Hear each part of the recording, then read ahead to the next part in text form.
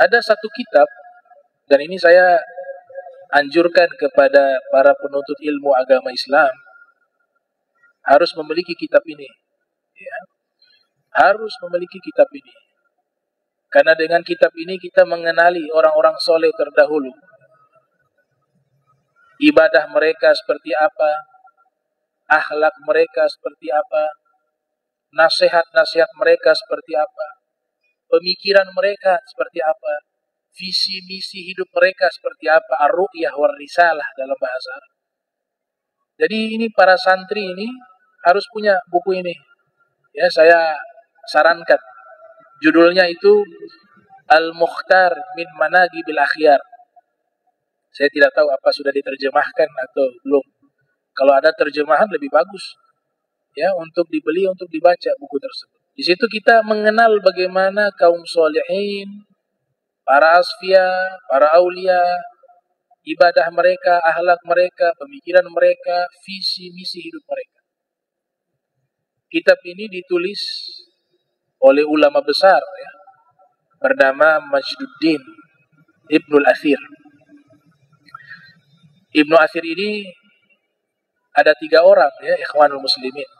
Ada tiga orang kadang-kadang ini jadi rumit ya sebab dalam kitab-kitab turos itu menyebut Ibnu Asir saja dengan gelar sehingga jadi bingung. Padahal tiga orang ini berbeda. Tapi saudara kandung. Luar biasa ya, tiga orang saudara jadi ulama besar.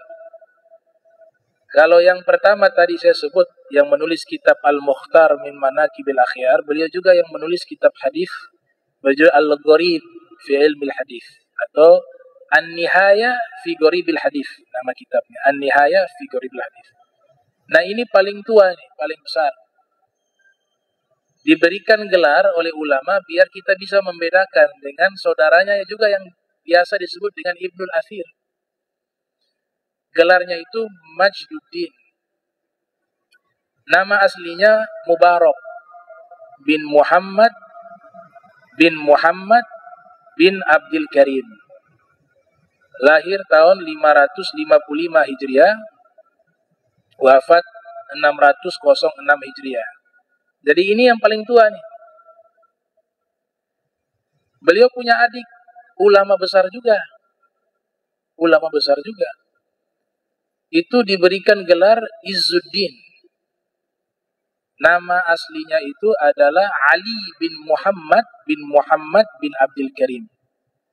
Beliau yang menulis kitab Al-Kamil Fitarikh atau terkenal dengan judul Tarikh Ibn Athir.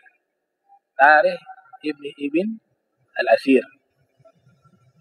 Ini lahir tahun 558 Hijriah.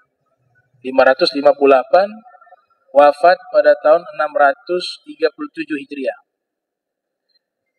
Oh tidak, lahir 558, 555 mohon maaf. 555, wafat 630 Hijriah. Ini adiknya. Kalau adiknya julukannya apa? Izzuddin. Kalau kakaknya julukannya Majduddin.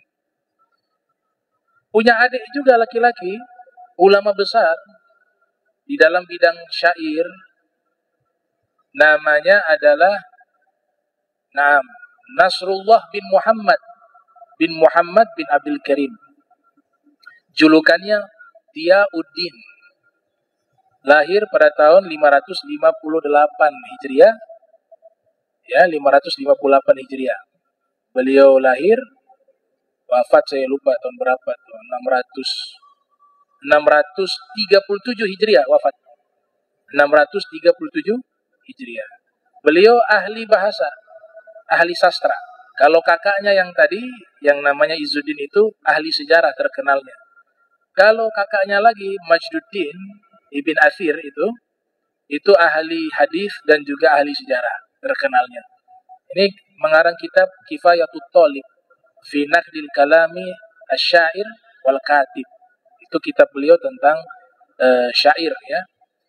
Tiga orang ini namanya terkenalnya julukannya Ibnul Athir.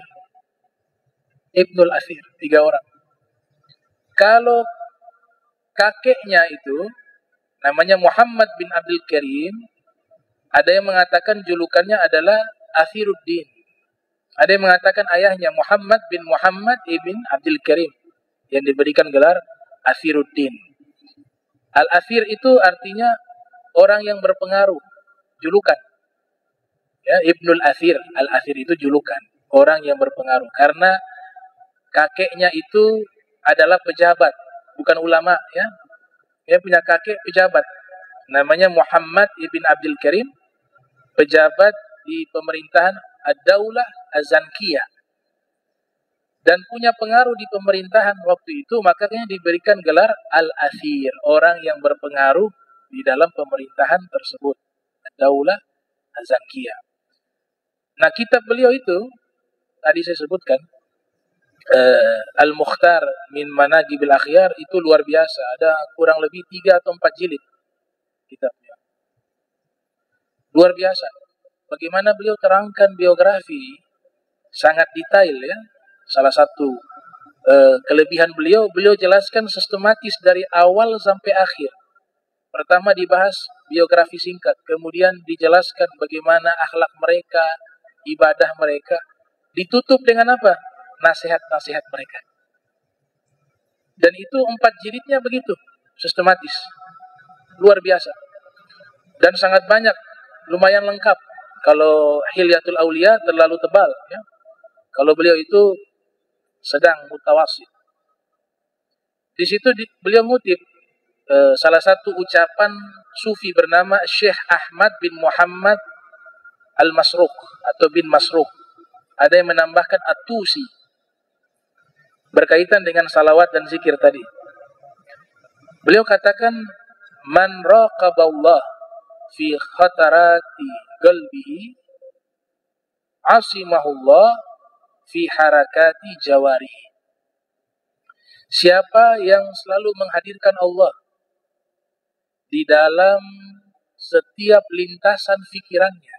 Jadi kita setiap saat berpikir, walaupun lidah tidak berpikir, tapi kita sedang berzikir dengan hati atau dengan pikiran.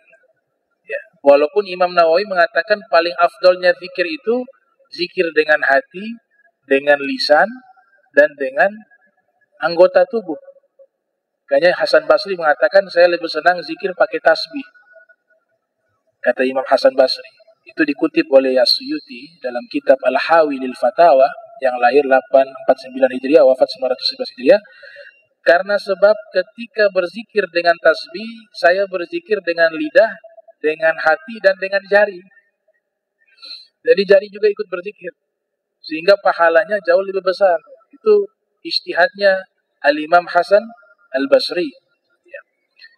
Beliau mengatakan siapa yang menghadirkan Syekh Ahmad bin Muhammad, siapa yang menghadirkan Allah di setiap lintasan hati dan pikirannya, niscaya Allah akan jaga dia di dalam gerakan-gerakan tubuhnya. Apa maknanya? Maknanya bisikan jahat gak bisa masuk. Di dalam diri kita ini, kata Imam Ghazali, ada potensi sifat hewani. Di dalam diri kita manusia ini ada potensi sifat syaitan. Semua manusia, kecuali para ambia, para rasul. Ada juga potensi malaikat. Ada juga potensi hewan buas ada juga potensi hewan ternak nih di dalam tubuh kita. Nah, orang yang sudah termaktub di dalam jiwanya Allah wa Rasul di situ, maka sifat-sifat buruk itu akan hilang dengan sendiri.